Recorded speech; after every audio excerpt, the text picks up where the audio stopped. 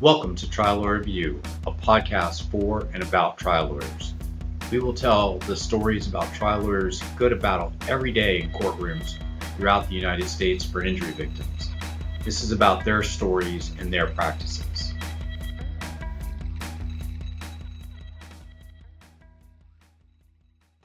Hello, everyone. I'm Jason Lazarus, your host for Trial Lawyer View. Thank you for tuning in today for another episode.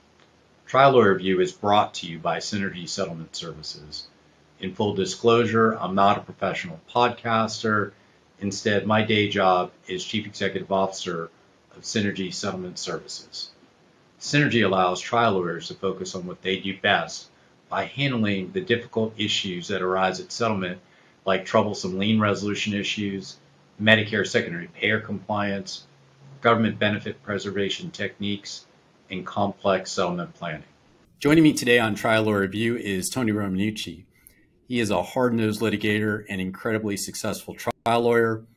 Tony is a founding partner in the Chicago based law firm of Romanucci and Blandin. His practice focuses on fighting for victims of negligence, abuse, and wrongful death arising from police misconduct, corporate negligence, civil rights actions, medical malpractice, mass torts, and class actions. I'm going to read a little bit about Tony's bio. Uh, to do it real justice, it would take the rest of this podcast, so I'm just going to hit the highlights. Tony served alongside lead counsel Ben Crump as co counsel representing the family of George Floyd in the landmark Minneapolis police misconduct case. He is a, has a steadfast commitment to fighting for those seeking justice across the country in complex, high profile mass tort cases such as the fight against e cigarette manufacturer Juul, Boeing for its faulty 737 MAX aircraft, the carcinogenic environmental pollution caused by, by and in the MGM Las Vegas shooting. He has taken a lead role in national cases related to COVID 19 business interruption on behalf of restaurants, retail companies, and the service industry in a quest to hold insurance companies responsible for their contractual payment to their customers. The firm has obtained multiple verdicts and settlements in the millions of dollars in cases, including a record breaking $44.7 million verdict on behalf of a young man left bound to a wheelchair and with permanent brain damage following a gunshot wound to the head. I could go on about the incredible verdicts, but again, we only have 45 minutes today. Tony has been widely recognized for his insight and experience is named a top 100 super lawyer for 12 straight years in Illinois, top 10 leading plaintiff lawyer in Illinois for 2019 by leading lawyers, and was named a best lawyer for 2013 through 2021 by US News and World Report. He maintains a perfect Martindale Hubbell AV rating and an Avvo rating of 10 out of 10 he was recently selected by his peers for inclusion in the 2020 edition of The Best Lawyers in America. Often called upon as an expert, Tony appears regularly on local and national television to comment on his own cases as well as other high profile legal matters and trends. He's appeared on almost every major network as a legal expert. He has so many awards and recognition. You'll have to visit his website at rblaw.net to read about it all. Tony received his BA in psychology from the University of Wisconsin, like me. That was my undergraduate degree, and his JD from UIC John Marshall Law School. Tony, welcome to Trial Lawyer View. Thank you for joining me today. Love that we get this opportunity to chat. Thanks so much, Jason. And it's always just so great to interact with another Badger. It really is. So, um, before we talk about all the law stuff, um, I, I know that you're very proud of your Italian heritage. Why is that so important to you? Well, my heritage is important to me for a number of reasons, Jason. You know, my, my parents have the typical story that you've heard probably thousands of times. You know, they emigrated from Italy to the United States and they didn't have much with them when they came over here. And so they had to work from the ground up. And, you know, they just taught me to have a really good work ethic. And they might have taught me a little bit too well uh, because, you know, work really is my passion. Um, I don't want to say it's my life because I adore my family. I do like uh, a little bit of downtime here and then, um, but but work is what it really is all about for me. And and I say this wholeheartedly and and and so sincerely, is that you know the best part of my day every day um, is when I come to the office. I love being here. I, I love being a part of the work and the excitement uh, that we do in this office, the work that we do. I can understand that completely. Uh, my my parents were entrepreneurs, and it burned into me that work ethic. Seeing them build a business from basically zero to to very successful uh, operations. So, and and I I really enjoy that part of what I do, being part of that that entrepreneurial spirit and seeing good that we do every day, like you guys get to do with clients, being part of a solution that helps improve people's lives is, is really kind of cool to be able to do both those things simultaneously. You know, there, there's one more thing about that, Jason. You know, you, just reminded me with what your with what your family did. My my parents became successful restaurateurs, and and when I say successful, they they they earned a nice living but we had to work hard. And, and as a teenager and as a young adult, um, there isn't one thing that I didn't do in that restaurant except cook because that was, they knew better than to put me behind the line cooking. But there wasn't one thing that I didn't do in that restaurant bartend, bus tables, host, wait tables, uh, make the pizzas, um, clean, wash, wash and clean dishes, mop the floors. And and so that certainly gave me another taste for what it takes in order to run a business and a law firm is a business. And i will tell you that if the receptionist is out tomorrow and there's nobody to answer phones i will go and answer phones because i know how to do it that's funny you say that. So my, my family owned a printing business and i did everything except run a printing press in there. So i, I get that. Actually took a year in between undergrad and going to law school and worked for them because I felt like you know I, I needed a little bit of break before I went to law school, and uh, that that definitely drove me to go to law school because it wasn't my passion being in in that business, but you know doing every little thing from, from working photocopiers to assembling booklets to operating computers to going out and delivering boxes of printed material to customers, it, it does give you an appreciation for for that kind of effort that it takes. So, um, in doing my research about you, uh, and this just jumped off jumped off the page to me. It was funny. I read that you're bad at chemistry, so instead you decided to go to law school or medical school. Uh, what is at the heart of your passion for being a trial lawyer? So I, I, I need to explain that. First of all, you're right. I, I was horrible at chemistry. Okay, so that let's just get that off the table now. But but what I what I the, the story behind being bad at chemistry, um, which which is the truth, is really my goal. Even when I was young, knowing that I wanted to be a professional, and medicine was certainly something that appealed to me when I was you know 13 14 years old. And, i thought and i knew that if i wanted to you know go into medicine that i had to understand the sciences.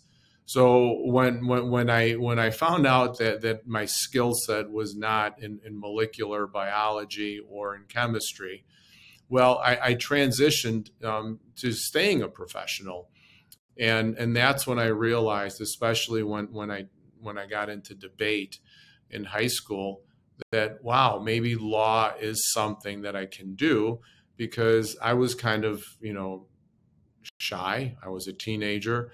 I, I didn't like to speak in front of crowds or people. Uh, but debate really helped me a lot. My high school teacher was very instrumental in in recognizing that I did have something within me that um, probably could be something that I he saw in my future and and that's when I decided, along with the help from my father, who was, you know, very very helpful in in pushing me towards, you know, being a profession and recognizing that law would be the right one. So, no, you ultimately went to law school, and when you were in law school, you got the opportunity to work in the Cook County Defender's Office. How did that experience set you on a path of handling police misconduct cases?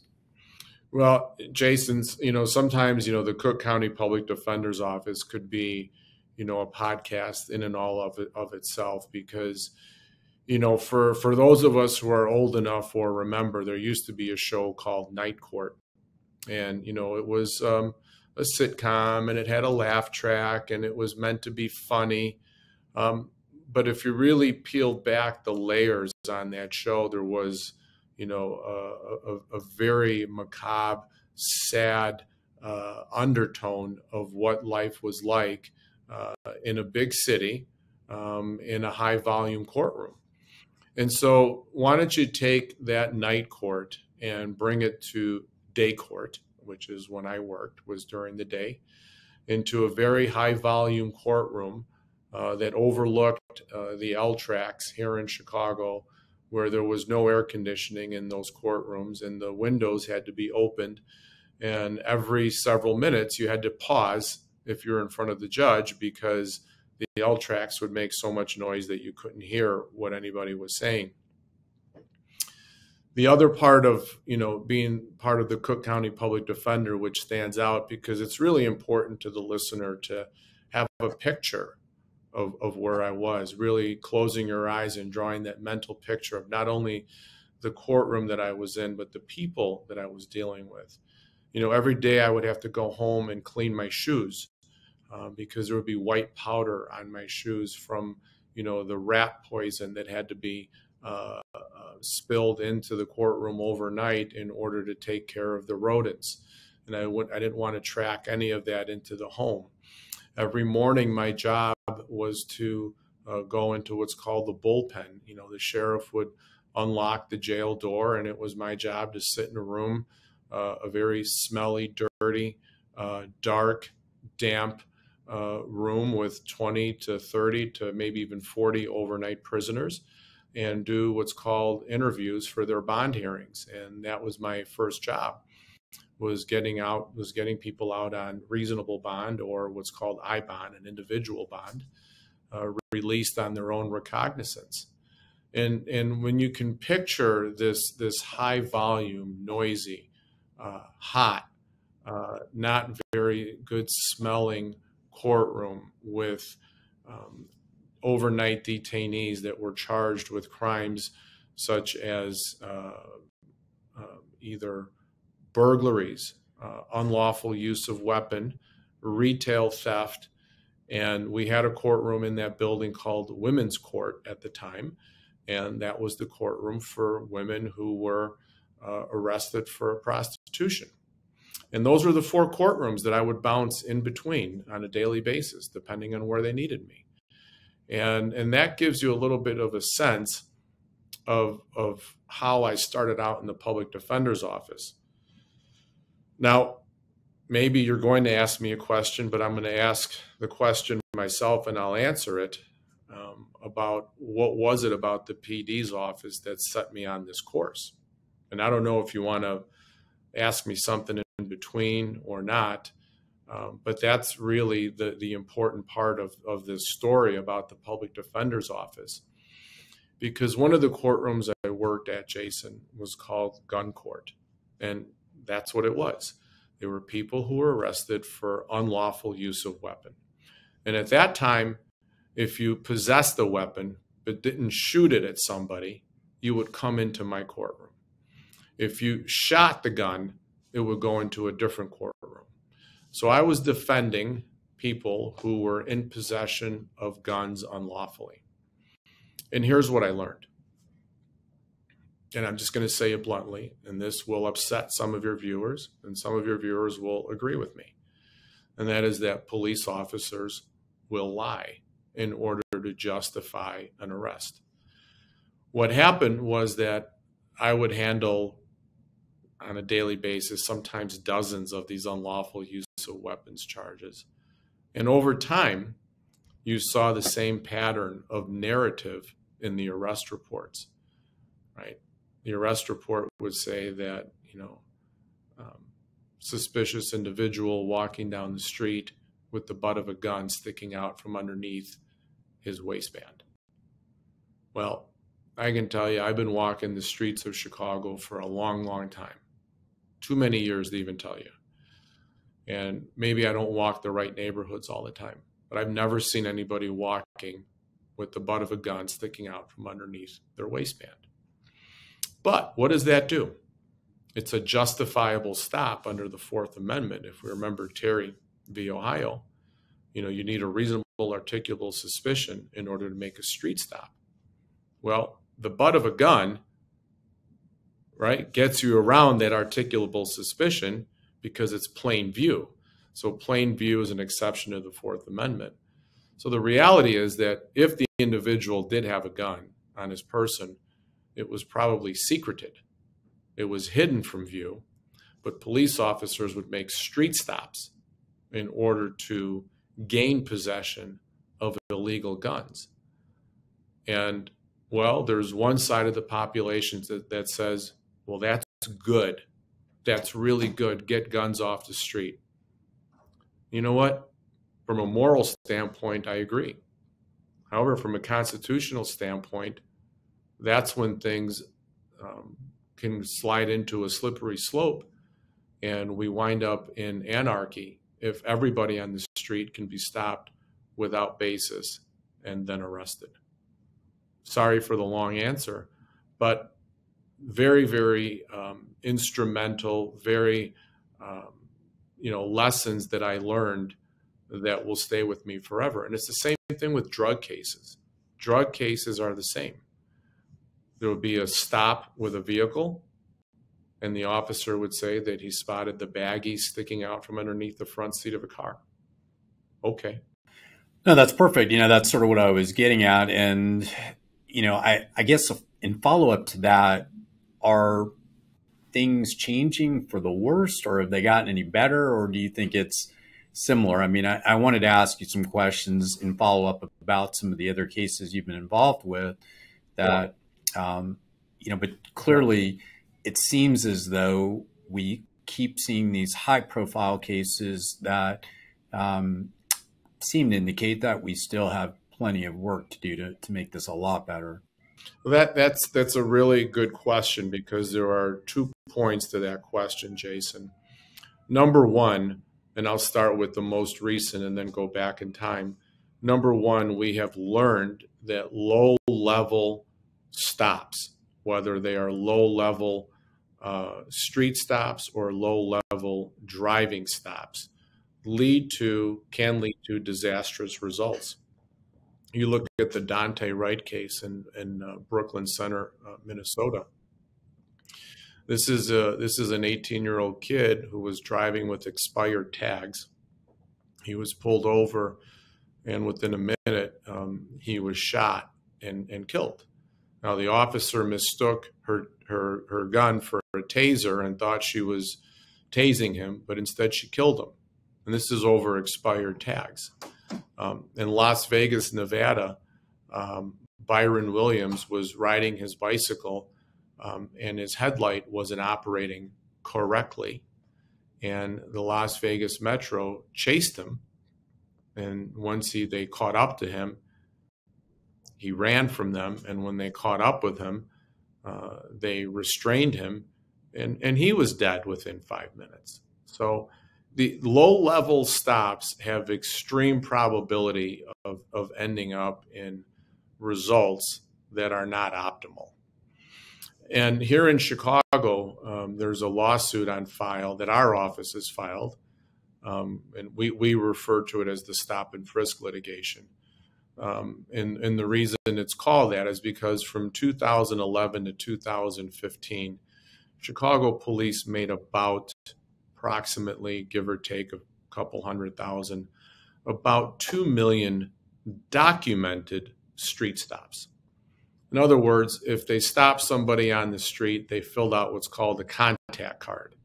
Then that contact card had had that person's name, their address, how old they are, what their race, their gender, and why they were stopped. Was always the same articulation, you know, suspicious, hand to hand exchange. But don't forget, these 2 million stops did not involve an arrest right? These are 2 million people who were stopped without being arrested. So every articulable statement that was made by the police was wrong. Out of 2 million stops, they were wrong 2 million times. So, why is that significant? Well, because 72% of the people who were stopped were black. And in Chicago, they make up 28% of the population. And the other 28% were, were a mixture of Latino, Asian, and white. And so that's what we're saying is that it's a racial issue as opposed to a crime issue. Uh, and it's understandable why people of color flee in those circumstances because look at what the outcomes are. I mean, it, it seems like it's just a vicious cycle that doesn't want to end, unfortunately. Well, thank you for recognizing that. You don't know how many times people ask me, well, they shouldn't have run. Had they not run from the police, they would have been fine. Well, here, here's here's here's the the short answer because this is such a sociographic discussion, right? Is that there's been a culture of this type of behavior between police and communities of color, not not for years, but but you know, well over a century, if not greater. I can't even tell you how many years, but certainly for probably a century and a half. So the behavior is learned behavior. And the learned behavior is that if you're getting chased by a white police officer who likely has a gun with him, that you have a chance of dying in his custody or dying before you're in custody because of that fear. So the answer to, is to why do black people run? Because it's learned behavior because of the constitutional violations that they've been handed for century and a half. So I I understand from the research I did that you formed the Police Misconduct Litigation Group, which was created after Michael Brown was fatally shot by a police officer in Ferguson, Missouri, and it's now part of AAJ. What is that group's mission and why is that important to you? And, and just the importance of groups like the AAJ and this group in particular in general. What why why are those things so important? Well, first of all, I can't say enough about AAJ, you know, the American Association for Justice. This is this podcast is not a plug for them, but but if there's any organization in this country that is there to literally serve and protect the rights of injured people and victims of misconduct or people who have been aggrieved of the law, well, it's AAJ. And so I'm a member of AAJ and I'm a deep believer in AAJ because I'm part of that mission. I want to be a part of the solution to be able to solve some of these problems that we have. And so, you know, besides being a member of my own association, Jason, which is called the Whatever It Takes movement, um, I think I have about three or four members right now. Uh, maybe you might want to join too. Um, you can be number five. I'm there but but I do. I, I I'm I'm like a member of this of my own association where I call myself the whatever it takes movement. So I always ask myself, what is it that I can do to make something better?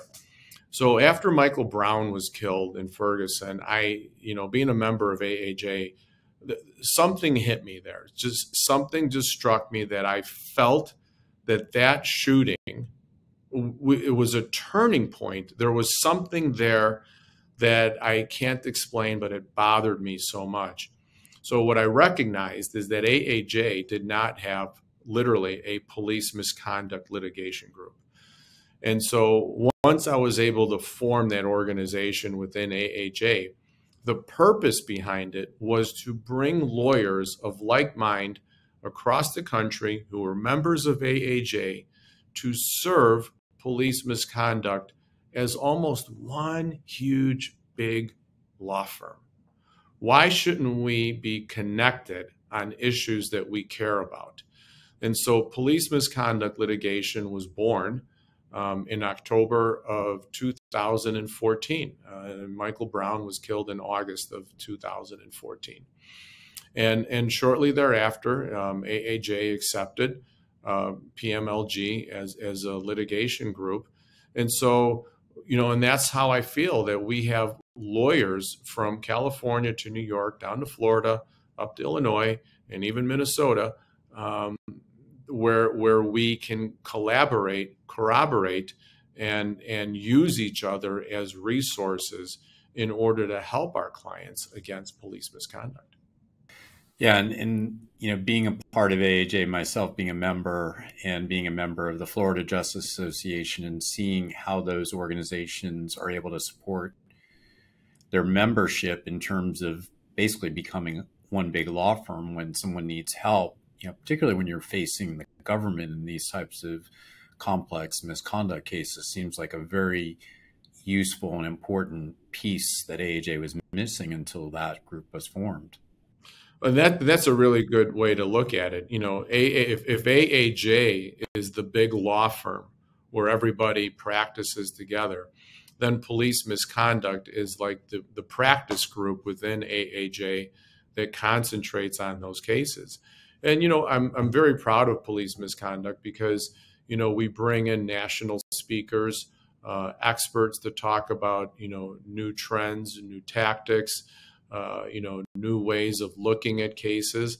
And, and you know it, it's it's true you know the, the part of the goal is to put ourselves out of business right we don't want police misconduct we want people's rights to be protected and if there's another area of law that we can pursue or we can be helpful, well, then we'll do that. But in the meantime, we've seen too many people being killed completely unnecessarily, uh, either because of bad police training or because of systemic racial issues that exist. So you've got this long history of, of handling police misconduct cases and forming the group that we just talked about, and then George Floyd is is killed by the police in Minnesota, which gives you an opportunity to work with Ben Crump, who I, I went to law school with at, at, Florida State University College of Law. Um, and by the way, I got my undergraduate degree from Central Florida, but it was in psychology, so I'm not a fellow Badger. Uh, unfortunately, uh, didn't get out of Florida for school, but um, but the the George Floyd case is just chilling and disturbing. Watching that video is, is something you can never unsee, and the the case gripped the entire country, which ultimately led to both civil and criminal cases.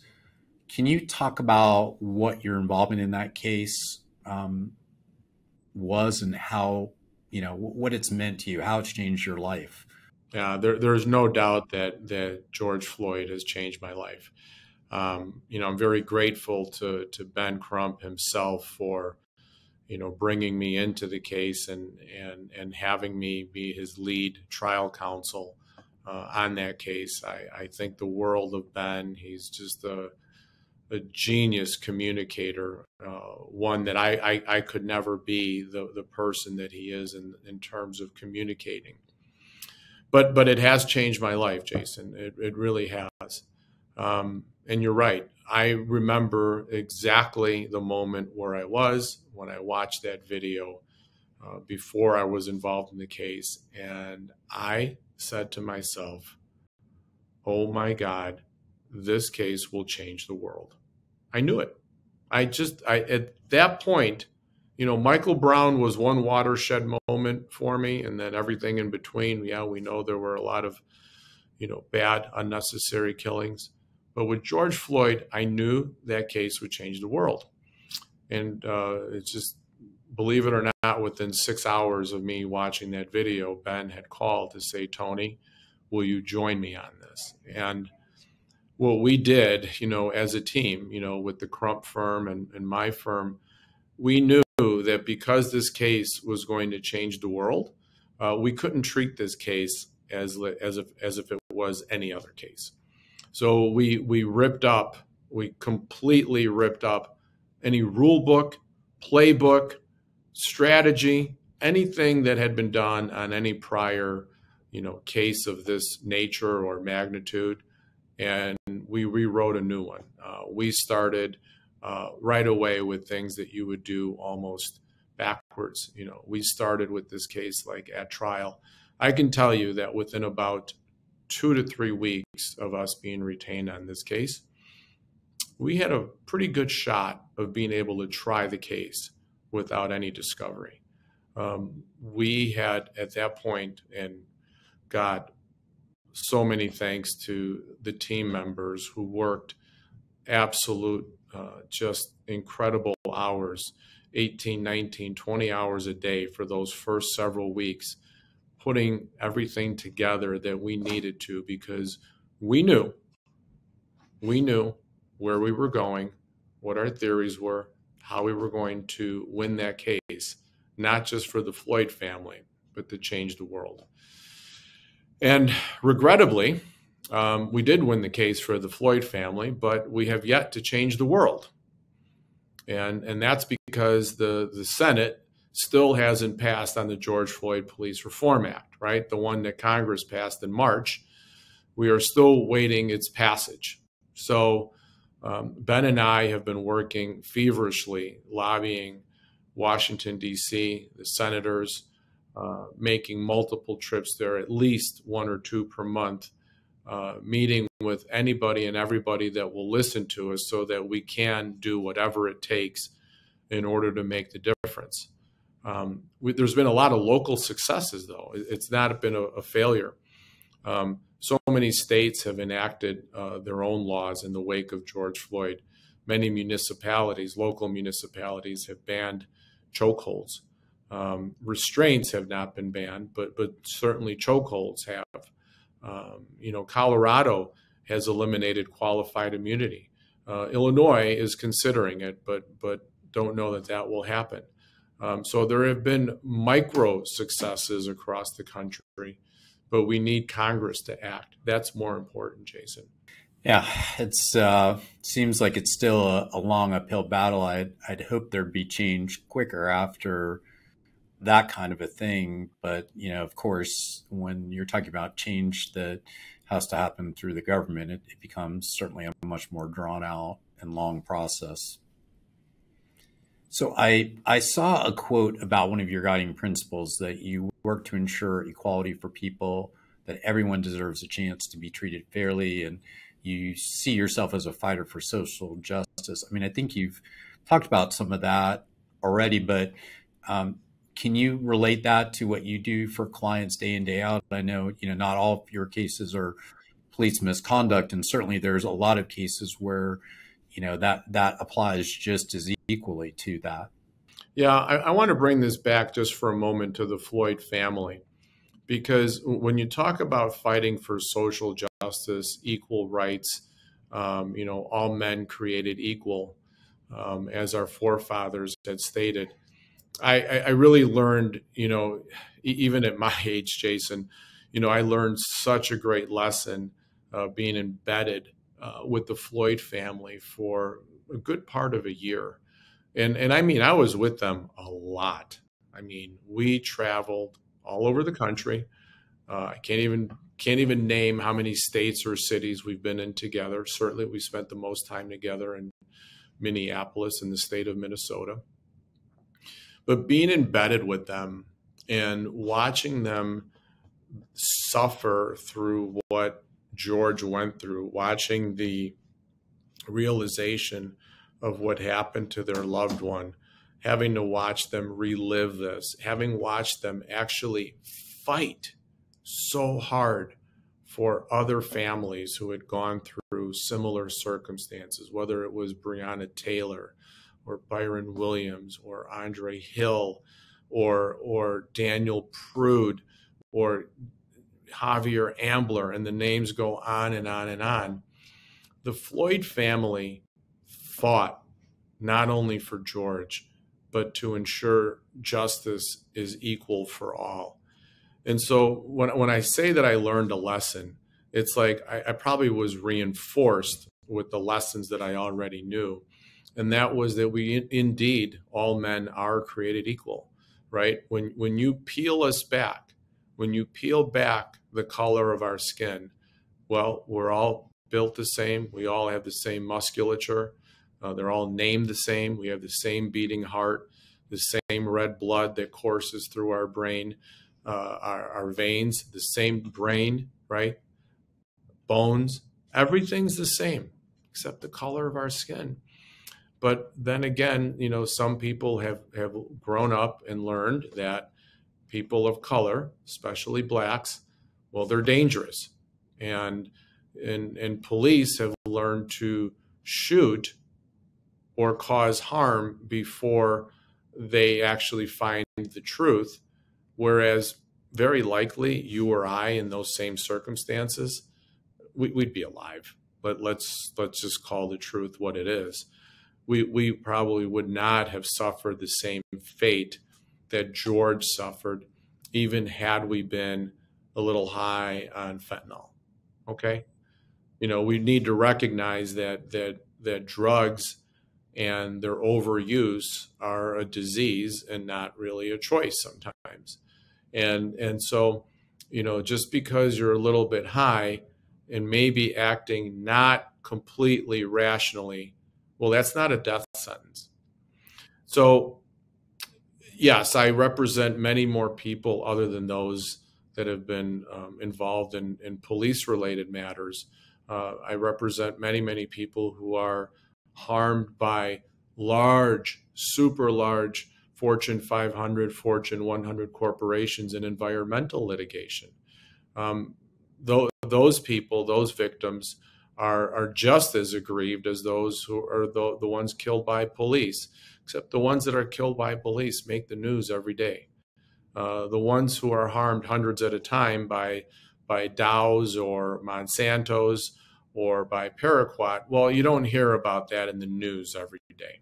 It's, um, you know, unfortunately, there's a variety of different ways that people are wronged. And, you know, there's not enough recognition for lawyers out there like you who are doing what they do day in, day out to make sure that people are protected. I, I think the, the practice is completely undervalued by most people because they don't really understand how important this is until they become a victim or someone in their family becomes a victim. And then they gain the understanding of why it becomes crucial to people like you that will go out and fight for what is right. I, I, I agree. I agree. You know, I, you know, the Daunte Wright family, you know they're they're just 10 miles away from where George Floyd was killed and we now represent that family and you know when you hear their story of how they they suffered watching what George Floyd what what he went through and what the Floyd family went through and they'll and they'll tell you how they grieved for the Floyd family and how they could never ever have imagined that less than a year later they would be a footnote to George Floyd that Daunte Wright, their son, their 18 year old son, was killed. It's just unbelievable. Well, you, have achieved some incredible results in a lot of different cases. And I wanted to ask you about some of the more important things you've accomplished through cases you've handled. I, I read online that one of your proudest achievements was related to aluminum bat manufacturing processes and practices. And, and I, yeah. I, wanted to talk about that because I just found that very interesting and thought it would be a, a good thing to to talk about. Yeah, so there, there's this there's this concept that used to exist with with metal bats. Uh, they were mostly made out of aluminum, and then they were made out of composites.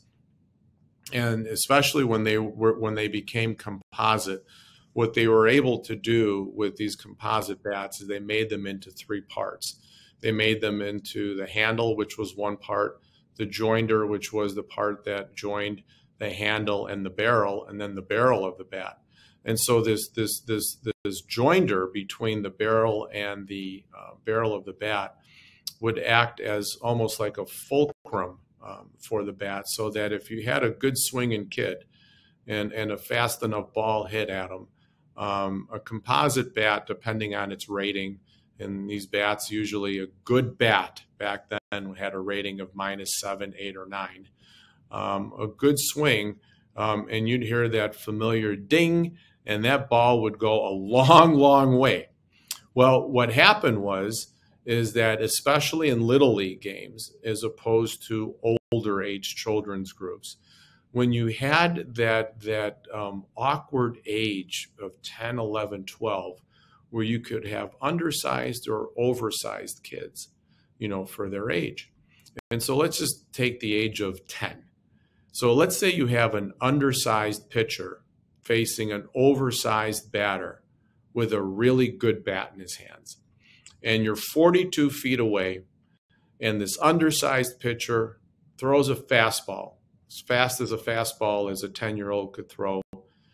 And this 10 year old at the bat takes the big swing, and this composite bat hits the ball right back at the pitcher's head. And there's no, uh, there's no time, right? There's no perception reaction time for this pitcher to hold his glove up to protect either his head or catch the ball. And what happens is very disastrous. Very disastrous. You get balls that are that bounce off of children's heads and were causing death um, or, or, paralysis or, or very serious brain injuries. And there was there were a series of these events happening across the country, and one of them happened here locally. And I got involved in the case, and we sued the bat manufacturer as did two other families across the country, one in New Jersey and one, I believe, was in Montana. Um, and those three cases were really the, the pivot point where Little League Baseball of America changed the rules as to how bats could behave. And they changed the rules so that all metal and composite bats have to behave like wood bats, which that's how I grew up was with a wood bat and and a wood bat behaves at um, at a at a zero rating. It's not a minus eight, a minus seven, or even a minus one. A wood bat is is is static. It's at a zero, and I, I dare you to count how many kids have been hit in the head by baseballs uh, where they've suffered injury in the past ten years. You you wouldn't be able to probably count five that have made the news, and that's a great thing. Yeah, that's an incredible thing to make sure that those kids are protected. Uh, the the case, and, I, I don't want to butcher the last name. I think it's Carrion. Um, Carrion. Yeah. Um, $19 million settlement for a family that was devastated by a Chicago police chase. Can you talk about that case and, and what the end result uh, was for that family, how that help them get through that? Yeah. So if you remember, we talked earlier about how low level stops and, and low level street and police stops lead to disastrous results. Well, in this case, the Chicago Police Department's general orders prohibit the pursuit of any vehicle that is involved in a property crime. And that's because we, as a community, as a country, we value the life of people over the value of property. And so in this instance, there were a few, a few kids who were joyriding in a stolen car. They had not stolen the car, but nonetheless, I am not condoning that they were joyriding in a stolen car. Chicago police identified it as a stolen car and engaged a pursuit, a high speed police pursuit in an urban setting in Chicago, Illinois, where there were stoplights and and, and stop signs. And there were violations of those stoplights and, and, and stop signs. And the general orders required that once there's a, a violation of one of those by the by the bullet vehicle, you are to terminate your pursuit. And the police never terminated the pursuit, despite the fact that they probably never should have started the pursuit. And that bullet vehicle uh, T-boned uh, the car where my clients were were riding in, and Maria Carrion uh, was killed. She was the mother of four children. Uh, there were five of her family members were also in the car. They were all seriously hurt, and it was a, a, a disastrous case. It resulted in a $21 million uh, verdict on behalf of the family. Uh, which was, at least in this jurisdiction, a, a, record verdict for a police pursuit. And when the case was up on appeal, uh, the family accepted a settlement uh, in excess of $19 million in order to end the litigation and so, so that they could move on with their life. But those are the dangers of, of police pursuits, which are inherently dangerous uh, because police pursuits typically end up badly. They, they don't end up uh, like you see in the movies all the time. Uh, they end up with somebody innocent being killed. Uh, another case was the Laporta case, which is, I think, a Section 1983 case, from what I, I read, which resulted in a, a $44 million verdict uh, for a victim that was shot by an off duty Chicago police officer, which caused severe brain injuries. Um, and I understand the verdict's been appealed and it's ultimately going before the U.S. Supreme Court um, this fall. Can you talk about that case? Yes. Um, you know, Mikey Laporta uh, was a young man with his full life ahead of him. He was 29 years old. He and his best friend, who was an off duty police officer, were, were out drinking one night. And uh, something bad happened at uh, this off duty police officer's house. But the story really begins six years before the bad thing happened in the house because when Patrick Kelly became a police officer, uh, the Chicago Police Department gave him a gun, a badge, and a shield. And Patrick Kelly became kind of like a wrecking ball, so to speak, as a Chicago police officer. He accumulated uh, 19 civilian complaints in less than uh, basically about five and a half years. Many of them were off duty complaints that, in, that involved violence, uh, domestic violence, drinking, uh, on duty complaints of, of violence, racial slurs, uh, racial slurs, excuse me. Um, so he was kind of like a mess. And, and the Chicago Police Department had numerous opportunities to fire, terminate Patrick Kelly for cause on many occasions and take away his FOID card, take away his ability to own a gun, have a gun, and, and have bullets in his gun. Instead, they found ways, they found affirmative ways to keep him on the job because Patrick Kelly was a clouted police officer. And so he kept his job. And because he was able to keep his job on so many occasions, Patrick Kelly knew that if he could commit misconduct, that he would get away with it. And so when he and Mikey Laporta were in his house one night drinking and they got in a fight, Patrick Kelly took his gun out and shot Mikey in the head. Because that's how you settle fights. That's how you settle disputes between two good buddies, right? You shoot him in the head. And so that's when the cover up began. The cover up began um, instantly when Patrick Kelly called 911 and said that his best friend had just committed suicide.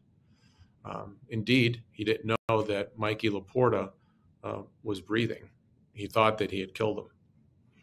And so when 911 arrived and, and they saw that Mike, Mikey Laporta was alive, uh, the cover up uh, began to fail and unravel. So the police department then got involved, and what they did is they conducted no investigation in order to assist Patrick Kelly's initial call of a suicide.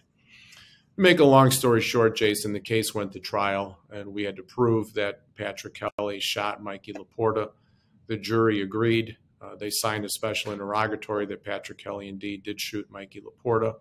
We had all the evidence that showed that it did after the verdict and the case went up on appeal, the city of Chicago thought better about at least part of their appeal, and they now admit that Patrick Kelly did shoot Mikey Laporta, although they disputed it and defended the case for eight years, saying that he didn't.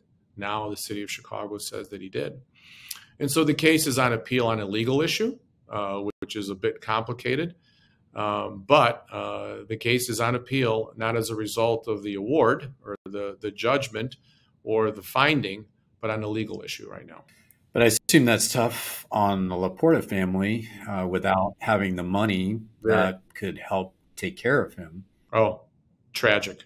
Just tragic.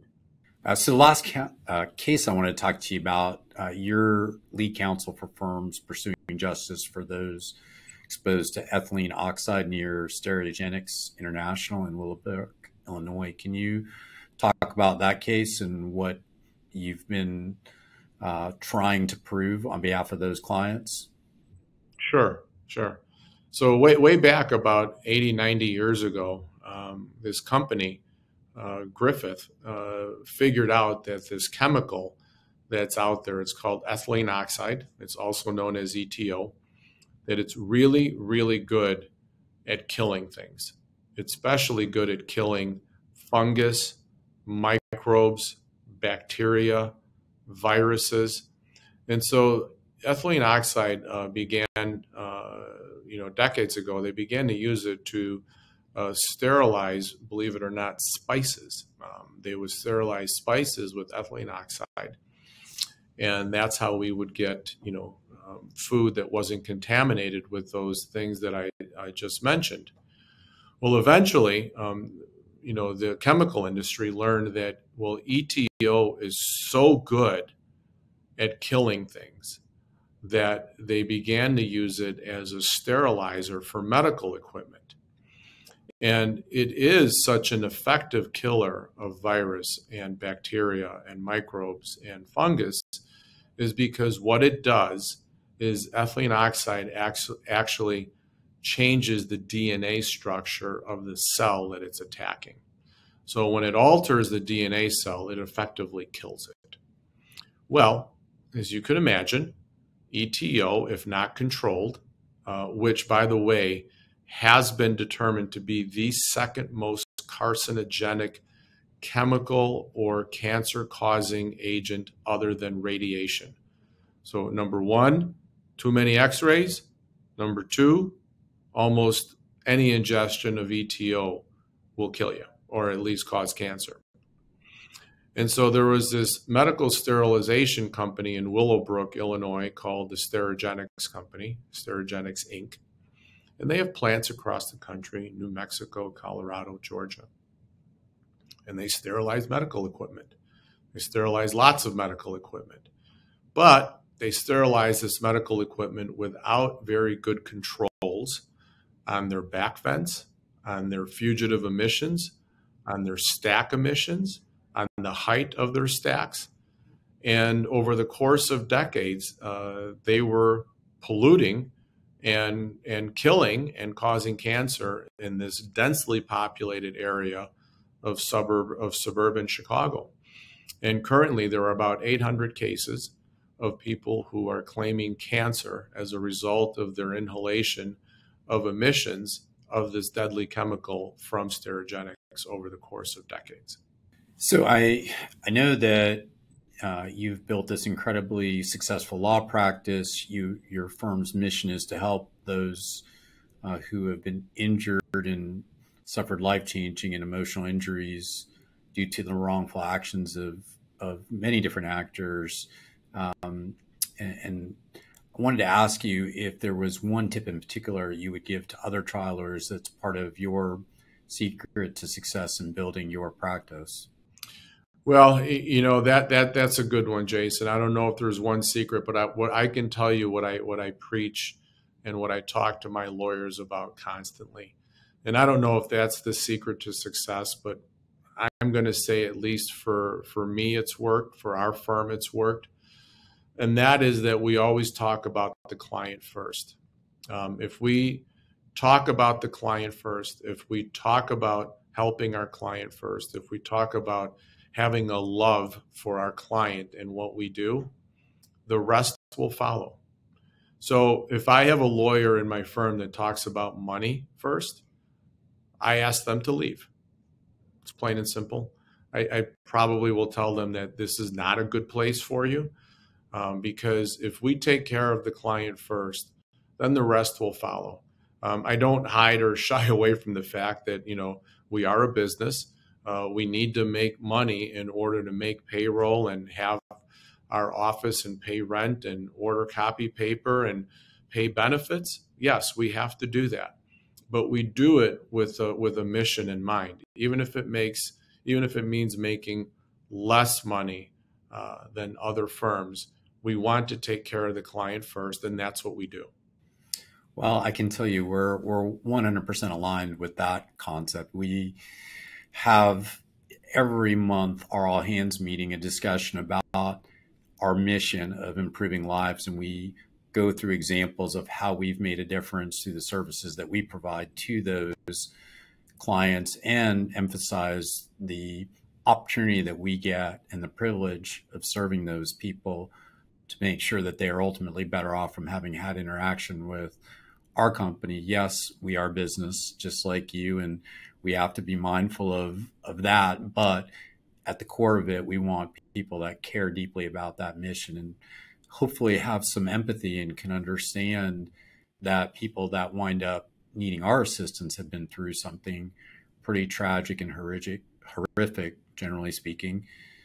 And so, you know, that that is what the focus should always be is is on that. So I think that's that's an excellent suggestion of, of a starting point for the success. And it, it kind of leads me into the next question I was going to ask you, which I, I typically ask everybody that appears on the podcast is that this idea of empathy and how do you connect emotionally with what a client has been through so that you can adequately convey that to a jury or are there top three things that you could outline that you do to help you do that when it comes time to face the jury well yeah that, that that's a loaded question but but what comes to mind is a is a quick story we represented the tinman family about 10 years ago in a medical malpractice case that involved their their son and some some horrors that he went through as a young child.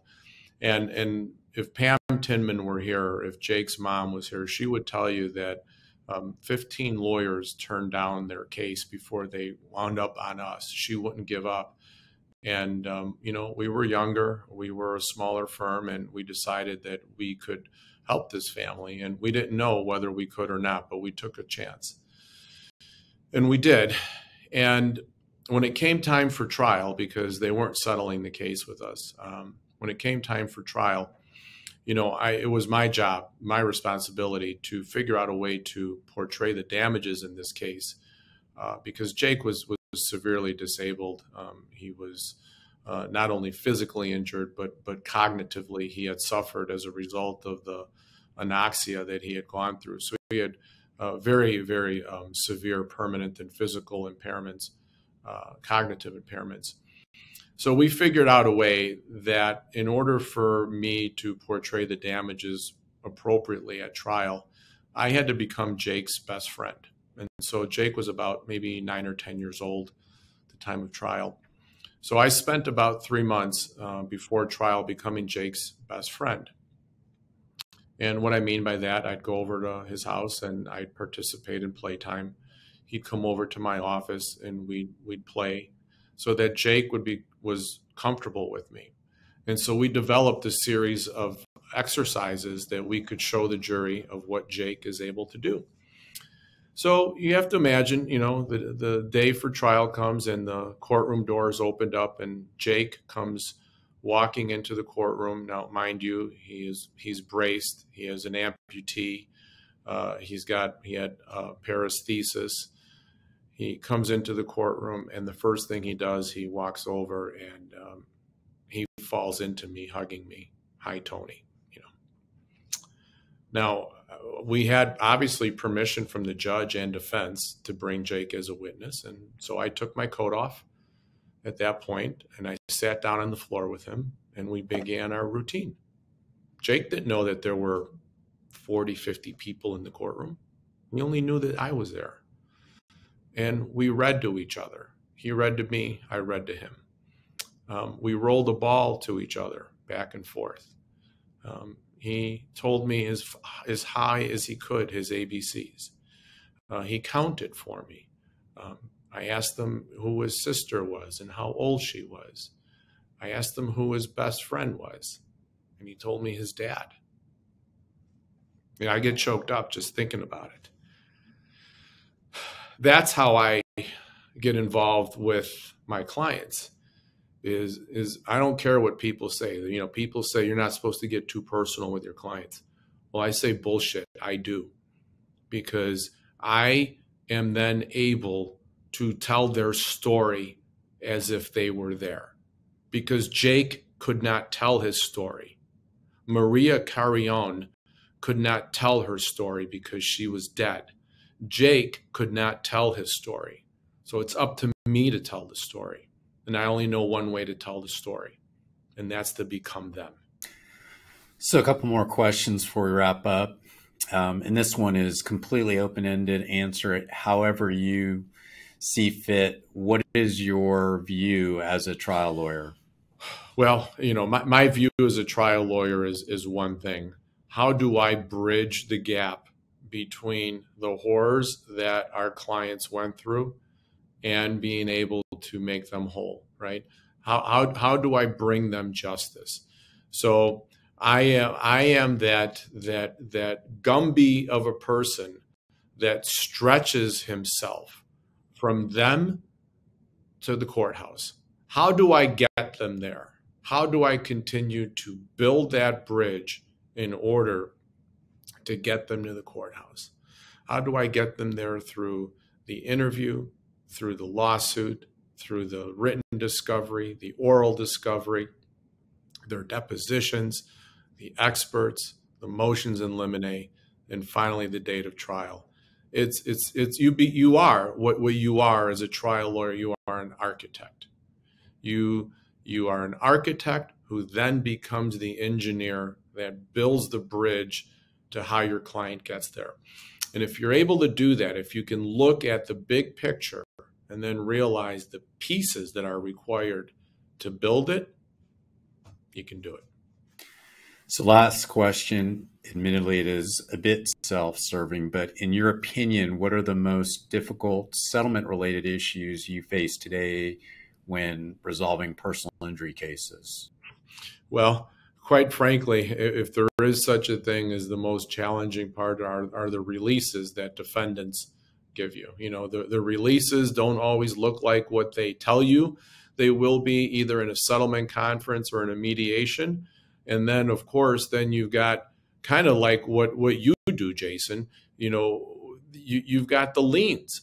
So you, you've got between between fighting defense attorneys with the different language that they insert into releases and then having to deal with either uh, liens or tr- or special needs trusts those are those are the difficult parts of the settlement you know, those are the parts of the settlement that most lawyers would say, I don't want to deal with because I, I know I kind of have like an aversion to it a little bit. You know, I don't want to deal with it, but but I know that I have to. And, and so that's sometimes, you know, especially if we talk about liens, that's why, you know, we, we call on people like you with in synergy and, and helping us because that's not where my expertise is. My expertise is back where I said it was, building that bridge to get to the courthouse. Yeah, expecting you know a trial lawyer to be uh, you know knowledgeable on matters of ERISA and FEHBA and Medicare and Medicaid and private health and you know Medicare Advantage. It, it's mm-hmm. that that's that really is um, you know too much. You know that that's why lawyers don't necessarily handle estate matters or guardianship matters. There are experts that are there to assist with those kinds of issues. And so, you know, that that to me is the point is you shouldn't have to deal with the minutia of that because trying to deal with that is is a full-time job for the people that we employ. Agreed. Agreed. Tony, um, very much appreciate your time today. If someone would like to work with you in your law firm, what's the best way to reach out to you? Oh well, that, that's that would be always an honor. But the best way to reach me is uh, my direct line is 312-253-8600. Our website is rblaw.net. And um, Jason, I, I thank you. It's it's been a real pleasure and it's because you ask nice, good questions, easy ones to answer, um, ones ones that trial lawyers wish we could answer every day. Appreciate that. Well, we'll include Tony's contact information when the episode is posted on the website. And want to thank everyone for tuning in to Trial Lawyer View today. We'll see you on the next episode. Thank you so much, Jason. Thanks for tuning in to Trial Lawyer View. You can find more at triallawyerview.com and look for more episodes and more content coming in the future.